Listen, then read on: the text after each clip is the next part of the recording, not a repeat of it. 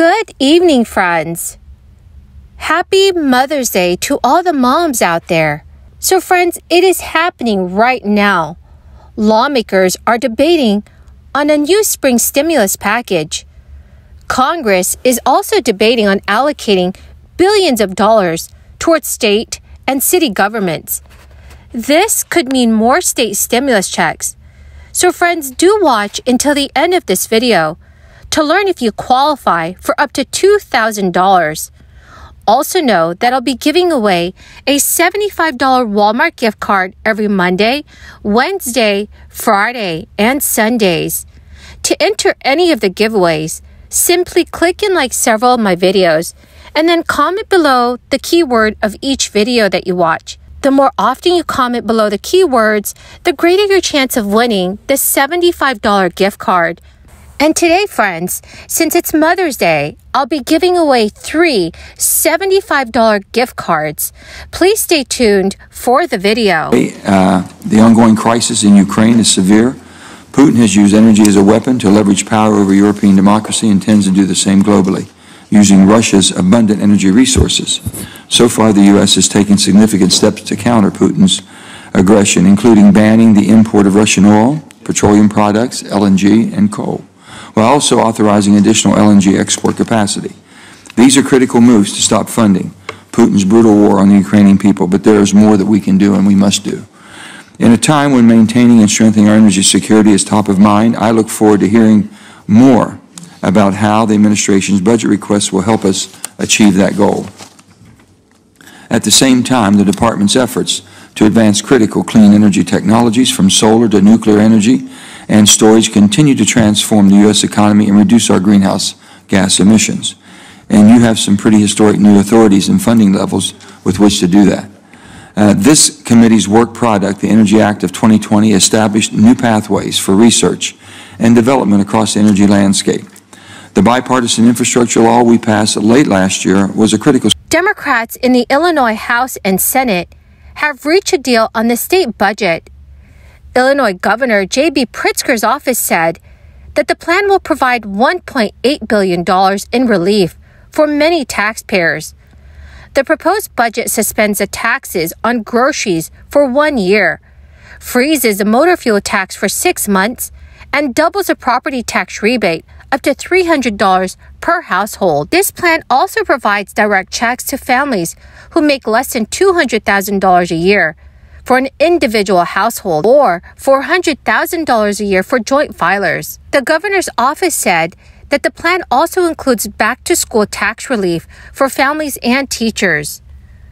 Governor Pritzker's office also stated that the plan will include a $1 billion contribution to the Budget Stabilization Fund and an additional $200 million for pension payout.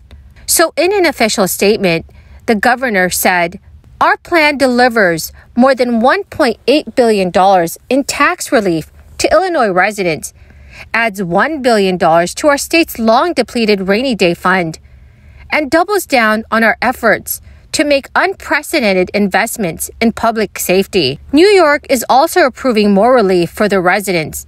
The state's budget is now providing 2.5 million eligible New Yorkers a property tax rebate. The credit is available for low and middle income households, as well as seniors enlisted in the school tax relief program.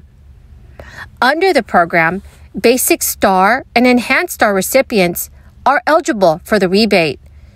Basic Star recipients are those with an income of less than $250,000 a year. Enhanced members are those 65 and older, earning less than $92,000 a year. The rebates would be a percentage of their existing STAR benefits. However, there are many lawmakers that feel that this isn't enough of a tax break. So, friends, please let me know in the comment section below. So, my friends, please let me know in the comment section below if you reside in a state that's providing its own residents with stimulus checks. Well, now, friends, Senate Democrat Joe Manchin is at it again. Manchin surprised many in his own party by convening a meeting intended to reach a bipartisan energy agreement. It raised a lot of eyebrows among Democrats. Democrats are trying to mount a last ditch effort to pass President Biden's economic agenda. Republicans and Democrats generally disagree on how to assemble a climate bill. Democrats in the House had passed $550 billion in clean energy tax credits as part of the Build Back Better plan.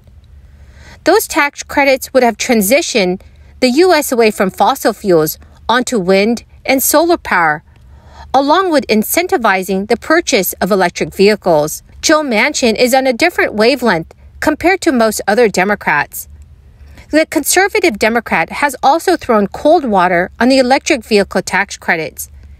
Last year, Congress approved a $550 billion bipartisan infrastructure deal after months of wrangling. Much of the dispute centered on how to cover the new spending.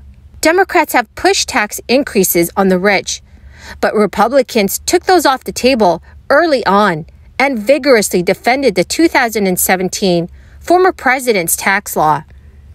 Senate Republicans are not inclined to hike taxes, especially with the November midterms right around the corner. During an interview, Senate Republican Chuck Grassley said, I think what you gotta look at is it's gonna have to involve some taxes. Probably you're going to find it difficult for Republicans to raise taxes. Senator Manchin acknowledged the obstacle without specifying how to overcome it stating that there is a lot of challenges here. Some Democrats, like Senator Tom Carper of Delaware, say they cannot get on board duplicating last year's two track approach to ensure a bipartisan energy package and a reconciliation bill to travel in tandem. But Democrats would likely try to use a reconciliation bill to salvage the clean energy tax measures. That decision could deter Republicans that they need. So, my friends, what are your thoughts on the current state of negotiations? Please let me know your thoughts in the comment section below. Friends, the keyword for this video is paradise. If you would like to enter today's $75 Walmart gift card giveaway, I'll be giving away three $75 Walmart gift cards. Please make sure that you click and like several of my videos and then comment below this keyword which is paradise, and additional keywords of any video of mine that you watch. And do make sure that you are subscribed to my channel. Thank you so much, my friends. Well, my wonderful friends, that is the end of my daily stimulus update video. Thank you so very, very much for joining me here today on Mother's Day. I greatly appreciate all of you who are watching my videos daily. Please do me a favor, friends, and share this video with your friends and family if they need more reliable and accurate stimulus information. Thank you so much, everyone, and have a wonderful and blessed Mother's Day.